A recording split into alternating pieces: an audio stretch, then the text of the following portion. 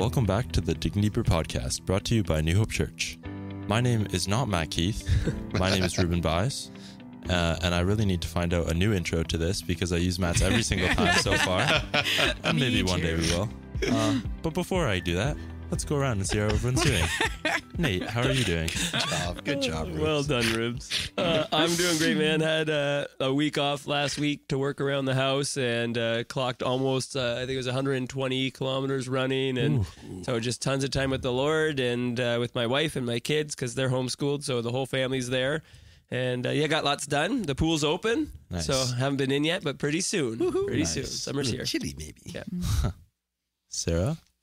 I I'm I'm good. I'm good. The the weather's great and uh just really exciting time in a lot of like junior youth and youth. We're coming to like the last month and and just so encouraged seeing the way our leaders are so dedicated to caring for their kids. Um and there's a lot of especially in youth, you just there's so many uh deep pastoral care needs. There's so much that our, our youth are struggling with. And I just think, man, what do kids do without a church? What do families do without a church? Because uh, they just really need that community around them. And it's just a real privilege to be able to come around kids and families. And I'm just really proud of our leaders who are accepting that responsibility and sharing and bearing that burden and their heart's desire is just like oh help me do this well and represent christ's name well and not take his name in vain so just really proud of them right now Hmm. Pastor Tom, who's also sitting on the other side of the room. Feels like social No, I can't sit with you people. I've got the comfortable chair over here. I do great rooms. Yeah, I'm, I'm fantastic. Uh, pool's not open. Didn't have a week off, um, but uh, no, um, alive, awake, alert, hyperactive, healthy, happy. Oh, uh, celebrating my 45th wedding Yeah, anniversary Ah, there you in go. a few weeks if we make it if there's no death or divorce between now and then Yeah. and so uh, pretty excited about that how are you doing ruben Yeah, uh, I'm doing very good.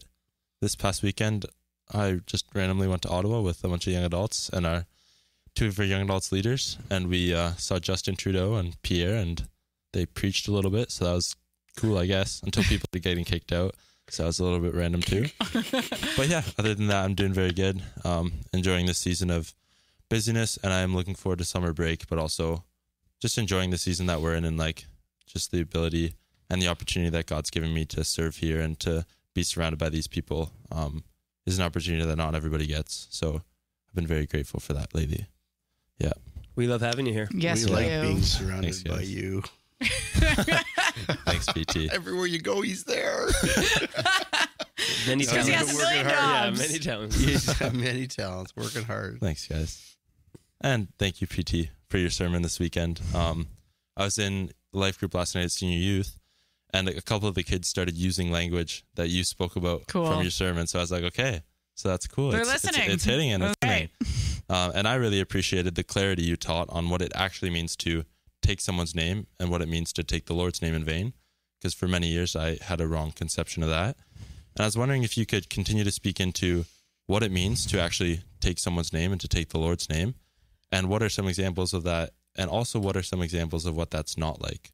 So, mm-hmm. Pastor Tom, if you want to share on that. I'm, i wonder if you got if you thought it was clear because you had to hear it four times and prepare for Yeah. this podcast that, that might have been part of it. Yeah.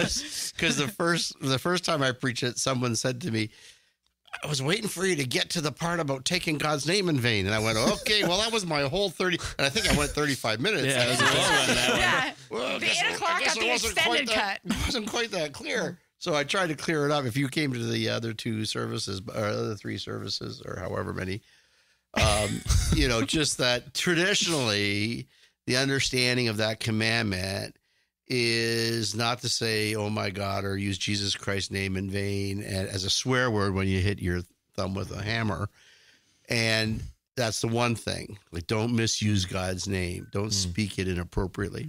And then the second understanding of it, and this one you can support with other scriptures, Hmm. but the second one is about taking oaths. So, like going to court and putting your hand on a Bible and swear you're going to tell Yeah. the truth. And you're not supposed to take an oaths in God's name. Hmm. And uh, but the actual word nasa does not mean speaking. There's no Mhm. no hint of talking. It's about Yeah. taking or lifting up or Mhm. taking possession or ownership. So I think while those are all great and we can fully support those first two with a lot of scripture, Yeah. both Old and New Testament.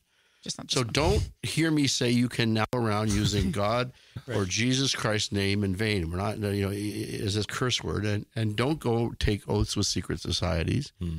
We're people of the light, Mhm.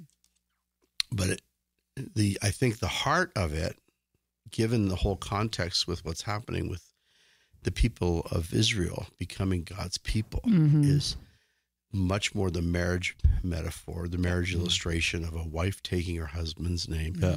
the people of God taking the name of Yahweh for us as Christians is calling ourselves Christians. Mm. Right. Mhm. Yeah. So the uproar at the at the National Prayer Breakfast was to have a, a political leader, our prime minister, for example, say I'm a Christian, and we go.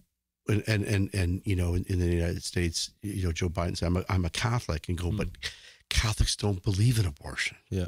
you know these are not the things that Catholics do in our case the scriptures are pretty clear on what it means to be a Christian so if not it's not that you must live your life perfectly but if you're not going to live your life as a Christ follower don't take up the name Mm. of Christ Yeah.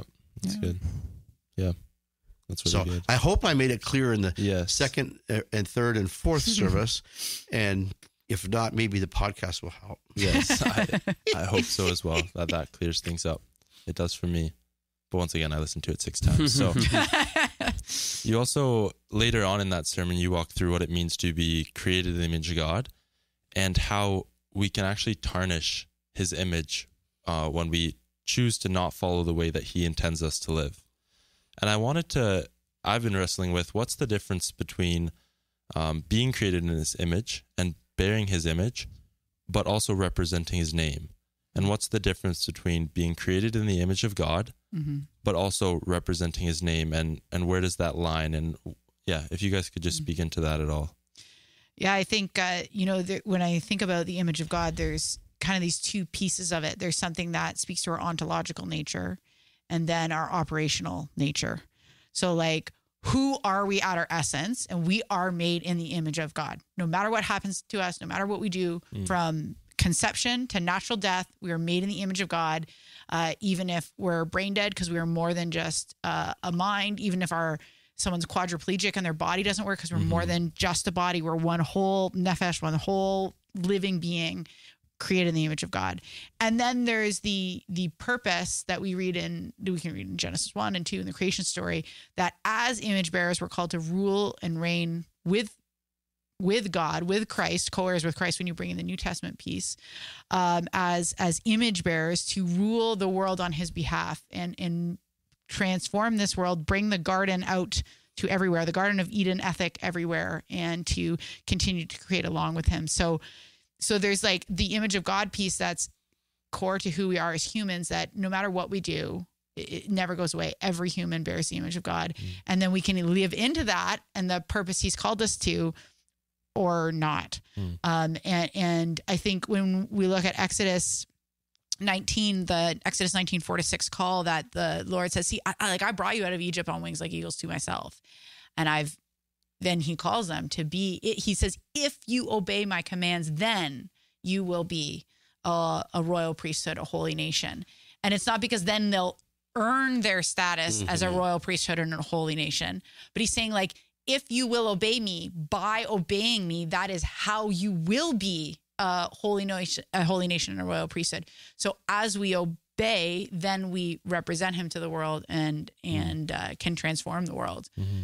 So because a holy nation are, are people Yeah. who don't steal other people's wives, yes. Don't steal other people's cars, yes. Don't lie and get other people thrown in jail, Yep. Don't steal people and make them slaves. Don't covet other Don't people's covet, stuff. Right, that's the holy nation. Who It's take not. a rest. It's not you earn it or you got check marks to your brand. Yes. It's the character of the people yes, you are. You become it That's- by obeying. Exactly. Yes. And it's always been God's desire for His people is to be a nation set apart, right? Yeah. And so when we uh, when we l- actually receive and understand whose image we're created in, which is the image of God, and then uh, receive that call, you know, to be His disciples, we're immediately launched into obedience. Hmm. Otherwise, you can't really receive the call and not obey. Like it kind of goes both ways. Yeah. So once we receive the call, we're launched into obedience, and out of that obedience is the language in James that you know faith. Therefore, knowing Jesus, faith in Him, surrender to Him, obeying the call means good deeds.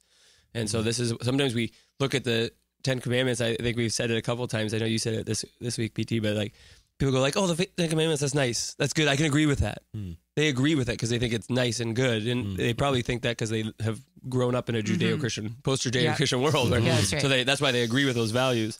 And yet, you know, to agree with them without a full surrender to God is is, is impossible, and, and won't result in the fruit, the uh, the good deeds that should and ought to come from o- obedience to the call.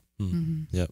And uh, yeah, PT said in breakfast meeting this morning that we should be like our community of New Hope Church as a as a royal priesthood, as a as a community set apart for God, like that we should be as different and as weird to culture as you know the old order Mennonites look when they dress, but that's how we should be because we so set apart and it's so different. And how are how is it like this? Why, why is your why are you so friendly? Why are you so like this is weird? Um, Why do and you give hopefully money good to the, so much Why do you- money? why do you why, give so why do you go to church every Sunday? Yeah. Why do you do all these things? Why are you getting married Good when you're question. 21 years old? Was, That's right. You know, questions you get. Why is it like this? Or not- a good friend of mine come here and say, "This is the first place I've ever been where I haven't felt like race was an issue, like that I didn't feel racism, that I was accepted."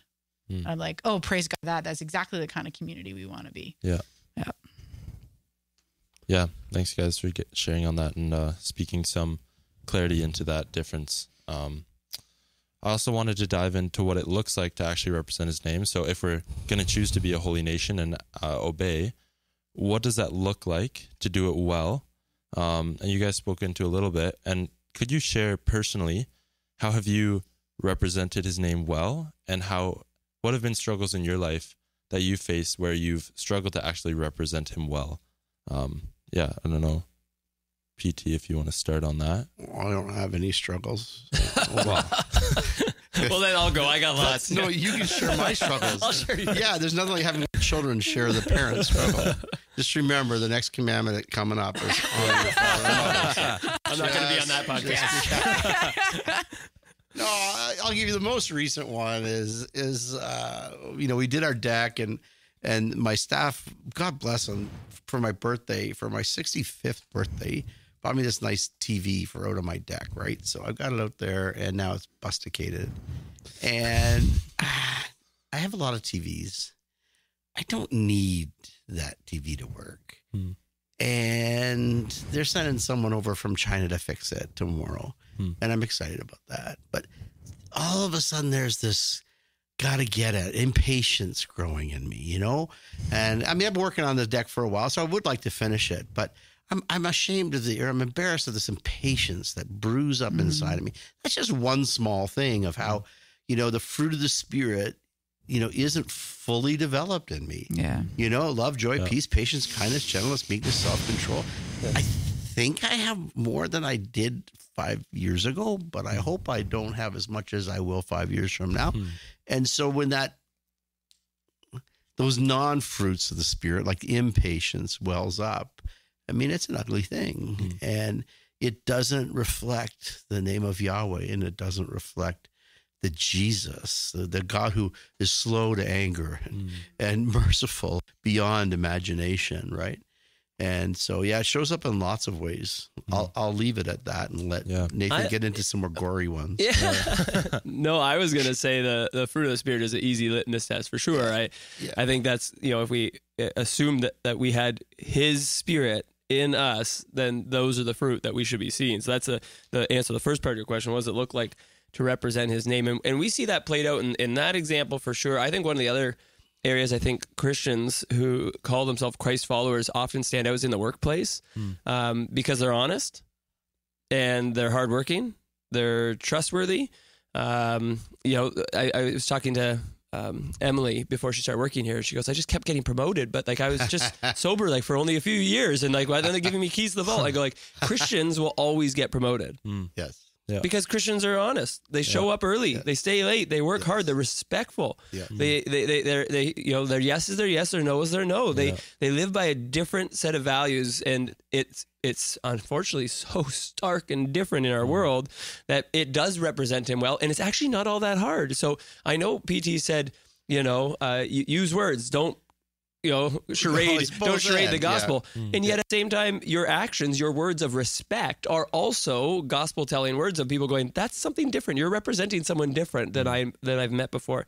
And that's why people will say when they walk in New Hope Church, they're they're immediately hit with this wall of joy and well welcome. That's odd. They don't get it. And I go like, that's because we're representing Christ to you. We're, we're joyful. We're saved by Christ, and He loves you deeply, and so do we. And uh, and so that's um, I, I misrepresent Christ in many ways. I was going to say patience as well, but I'll go.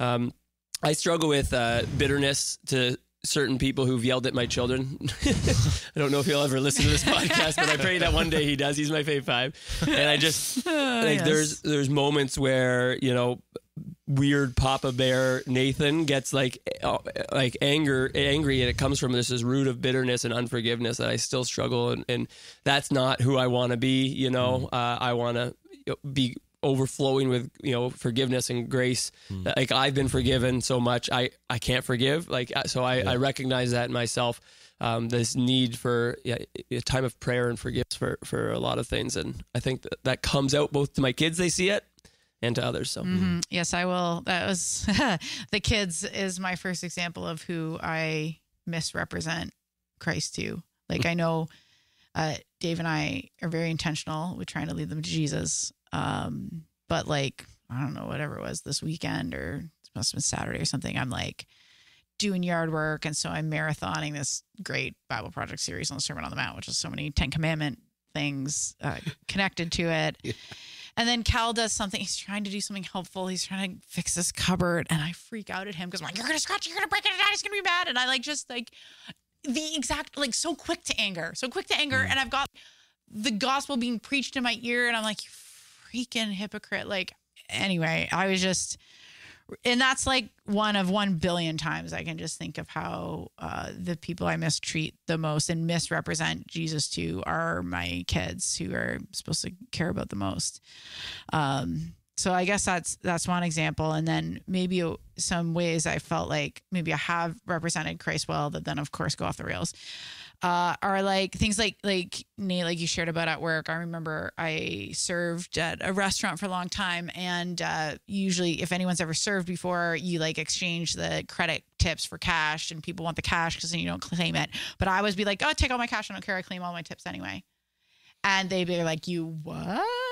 And um, so, so just explaining why I would be honest with my money, and I trust God with my money, and I'm not going to do anything uh, that's not above board. Um, I remember being really young, being engaged when I was 19 or 20, and people being like, You're getting married. And I'm like, Well, we love each other. We've been together for three years and we're not going to sleep together or live together until we're married. So, yep, getting married young. and That uh, about says it. I- If you didn't catch that, rewind it and play it back slowly. Okay, when you love each other, you've been together for a long time, and you will not live together or sleep together until you're married. That happens more quickly. Amen. And uh, yeah, just having opportunities uh, to share the gospel of that, and then also so many missed opportunities where I talked around it about myself or choices I've made, or and didn't and missed the opportunity to get to the heart of the gospel and share um, who Jesus was through that, or even, and I've shared before on the podcast, me quitting my job at Ridley, and times where I had that opportunity to share like the gospel through that, and times where I just kind of talked about myself, and and and missed that that opportunity. And I I think one of the when I think back to like in individual conversations, when have I best shared the gospel? I there was a a time in our Bible study at Ridley, and uh, it was only four girls, and they were all from China. And uh, the one girl's English was so weak, and we were just trying to explain the gospel. And uh, I just remember looking her in the eyes and saying, "I love Jesus," and you could you could see that like the Holy Spirit like translated that There you go. and it wasn't all the words and it wasn't everything, but it was like well, that's the heart of because of what he did for me. And yeah, so I think I'm like that's kind of burned in my memory. I don't remember everything around it, but I'm like in all these other interactions, how am I getting to that, the heart of who God mm-hmm. is, and not talking about myself and mm-hmm. all that? Yeah, Yeah. Yeah, I think I'm guilty of that as well with the sharing the gospel piece. Mm. Um, especially because so many of my friends, like going to a Christian school my whole life, they know of Jesus and they know who Jesus is Yeah. and they know the gospel. But I still think that there's an aspect of them needing to hear it time and time again until they're finally going to understand it and accept that the grace that He has for us. And so many times, like it's a perfect opportunity one on one. We've been talking about stuff, and I I have the opportunity to share, and I choose to avoid it out of either fear of them like going out of the conversation or not wanting to talk about it or whatever. Um, and I recently came across the verse. I've read it a couple times, but in Luke 10, Jesus tells us about how the harvest is plentiful mm-hmm. and how like like the it's ripe. Like people are ready. People are ready to come to Christ today. And yet, so many times throughout my day with so many different people, I choose to, um, yeah, I try and be a nice person and act nice and show them who Jesus is, but Yeah. I don't intentionally share the gospel with them. yeah, And that's been something I've been trying to work on more is like, where are opportunities that I can just sh- share the gospel? mm-hmm. Like, just show them who Jesus is and tell them about what he's done in my life Mm-hmm. and ask them if they too want to accept him into their lives. yeah. Um, so that's been for sure something That's, I've that's been good. wrestling with. More than with just charades, right? Yes. Not only charades. I really liked your charades of the gospel. Uh, yes. PT? That was very good. If you missed out on Sunday, check it out on video. It was yeah. very good. Yeah. I do it now, but you know, it doesn't well, work less on the effective. podcast. yeah, Yeah, it's yeah. hard on radio. Yeah.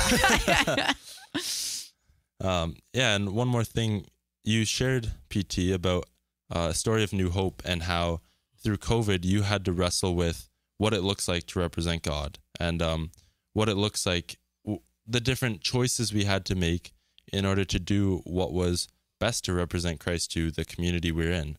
Um, and I wanted to ask, what are some examples of some struggles we have today as a church um, where we're wrestling with how are we going to represent God in this? What are the ways we're going to do that? What are the choices we have? Um, if there's any specific examples you could share into New Hope today. Well, we're currently in a, a struggle with trying to build on our property, and um, and we have opposition Hmm. from uh, city officials and uh, from uh, different groups in uh, the uh, peninsula, um, and you know preservation of agricultural land, which is a good thing. We technically are agricultural, but nothing's been ever grown here for over a hundred years. Mm. And so I, I we're going to court. We have lawyers, many. We have a, a conflict. Um, we've been invited to go to mediation and we are, and we're going actually this, this, this Friday. So if you hear this beforehand, pray for us. Um, but, um, next Friday, thank you. No. Um, so how do we conduct ourselves? Hmm. Yeah. When we went to the the city, and the whole church came, Mm. And how did we conduct ourselves? hmm Uh, we went to the region, and a lot of people came. How do we conduct ourselves in that environment? Um, there were signs, but we didn't bring any. There were um, comments made. Uh, what ended up happening was uh, the the security guard at the region, who was making sure we behaved ourselves, Yeah. uh, came back to the church that night and started coming to our church on a regular basis. Huh. Um, we tried to conduct ourselves with kindness and love, and s- just speaking the truth, and and and requesting what we were requesting. We were requesting some variances and certain allowances that all citizens are allowed to request politely and respectfully. And while there was some abuse, I would say, particularly, you know, calling me out on some things that was inappropriate. Hmm. You know, how did we conduct ourselves? We conducted ourselves the best we could with kindness and love. And so Hmm. we're in that situation now and trying to bear the name of Jesus well. We were talking earlier about some of our failures in in in bearing the name of Christ. Hmm. And while we can't bear the name of Christ perfectly, we can bear the gospel. Mm. Mm. And by that I mean when we mess up, which we Yeah, will, That's right. because the gospel isn't about living perfectly and keeping right. the Ten Commandments perfectly. That's right. The the gospel is about following Christ, and when we Yeah. fall fall, we quickly repent, Yeah. confess it, Mm. own it, you know, make right what we can make right with Yeah. others, and get back on following Jesus. Yeah. So we can't witness to the character of God perfectly, but we can witness to the gospel Mm. Yeah, that's right. because the gospel is about mercy and forgiveness and Mm-hmm. and that gives hope to people because if we could pretend that we were perfect other people would just throw their hands up and say forget it Yeah. but when we let people know hey we mess up too we have a gospel big enough Mm. They can join us in that Yeah. Mhm. and they can join us and you can join us Yeah. Mhm. Yeah, I appreciated the other day in staff meeting PT. You said you called yourself a rascal. You said we're all rascals, and that's Yeah. why we need Jesus, and that's why we have His grace. Um, so just connecting to that, that like we're not perfect, and we never will be. It's it's impossible for us. We're born into a sinful world, and we are a sinful people. But that is exactly the gospel: is to Mhm.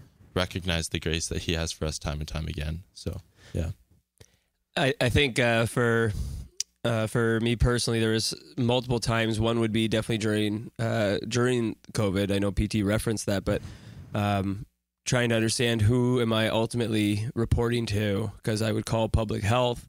Um, I would be the person to deal Mhm. with all, all the people coming in, uh, you know, whatever, uh, threatening to fine us for having people or they asking to count how many people or pushing past, you know, Matt at the door to get in and then mm. dealing with them and lawyers on Monday. And so it was a, it was a hard season for me to try to figure out what is, you know, Christ like leadership require in this season. And then our own denomination at the time told us to close, said that we would be a, you know, everyone closed. We didn't have to. They just said we should all just close right away because that's a better witness. Yeah, to be clear, this is when the government said we were allowed. yeah, we were allowed to be open, Yes. and they said we should all close. Would be a, we were being a bad witness. So like, wow, what what a time to be a leader. yeah, And um, I was reminded of the the times when they said go kill all the, the babies, and they Mm. said, "Sorry, we we we've tried." The midwives said this. Sorry, we've tried, but the, these Hebrew women, they're so good. They just keep pushing these babies out. They, we didn't even know about it. We didn't even know about it, and it's a full on lie to Yeah. a, a government asking them to do something absolutely horrific. Yeah. and uh, we didn't lie, um, but we didn't re- turn people away. Mm. So when we were allowed thirty five percent, um, we would set up thirty five percent of the chairs, and if extra people came in, then we would set up chairs in the lobby and open the garage doors. And uh, you know, it, that was a hard decision. Mm. That was a Yeah. really hard decision because you're going like, well, we want to we want to follow the rules, and we don't like want to kill people. I love how you said that. I really don't want to kill I people. didn't want to kill and yet, anyone it would would me telling people you're not welcome in the house of the Lord. w- Would I go to bed that night and go, God's proud of me? Mm. I did a good job leading, or, or how how do I answer to that? And that's that that was a difficult one for me. Uh, and I think the, the biggest other one is is doctrine these days. The- Yeah. Being a good witness means watering down the gospel, Mhm. making it more palpable, not offending. And uh, man, I don't want to be there. I don't want to be at that church that I don't get Nathan Braun doesn't get offended at because Mm. my sin's pretty disgusting. Not Yeah. ju- not to you, ev- although it is gross to you guys. It's really disgusting because it put Christ on the cross. And if that gospel message isn't abundantly clear, Mhm. then I don't think we're doing a, a good job. So um, Mhm. those would be a couple areas I think as a leader in these last years has been um, hard to navigate because the pressure to bend Mm. is heavy. Yeah. I think that last one is the one that's the most consistent for me, especially in junior youth and senior youth, where those life groups are a bit unique. Like unlike our adult life groups, it's like at any any week you're going to get a new kid in your life group that you don't know, and they're just going to show up, and we have to be ready to have room for new kids to come uh, throughout. And so there's this there's this tension of like being this place uh, that's that's open, but also helping other kids move forward in their discipleship. The beautiful thing about the gospel is you grow and you are discipled while you're on missions. So calling those kids in that life group, and we Yeah. had man like a like a master's class level example of that last night with uh, some of the young women that uh, I debriefed their life group, some of our youth core kids after uh, one of the new people that came to their group that shared some stuff that was hard for them to like, how do I reconcile this? How do I deal with this? Um, and you know, we're in a series right now in engaging culture. And this Tuesday, speaking of things you can pray for, you know, we're going to talk as we do every year. We're going to help try to help kids wrestle through issues of gender and sexuality and how do they how do they represent Christ well to speak about that? How do they how do they give that clearer, better vision?